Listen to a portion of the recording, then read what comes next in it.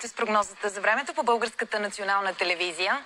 Днес над по-голямата част от страната облачността ще е значителна. Максималните температури по поречието на Дунав, където вятърът ще е от изток, ще са по-низки, между 6 и 10 градуса, а в останалата част от страната между 7 и 12.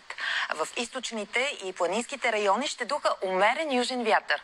В, низни, в низините и равнините видимостта ще е намалена от мъгла, а в отделни райони и ще прерамява. Преваляванията и днес, както и през нощта, могат да бъдат и отсветени заради пренос от запад, югозапад на сахарски прах, което ще доведе до промяна в вида на небето, но концентрацията на прах у нас ще остане под допустимите норми. През нощта дъжд ще превали в югозападна България, а утре и на места в западната половина от страната. По-съществени ще са валежите в Рио-Родопската област.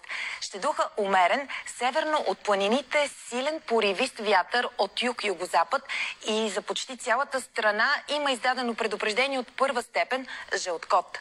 Южният вятър обаче ще задържи температурите високи, максималните ще достигнат между 15 и 20 градуса. По-низки ще са в крайните северо-западни райони, където ще остане почти тихо и на много места видимостта ще е намалена. В планините ще бъде много ветровито с силен до бурен вятър от юг-югозапад. Облачността ще е променлива, по-често значителна. На отделни места ще има и слаби валежи от дъжд, а по най-високите части и от сняг.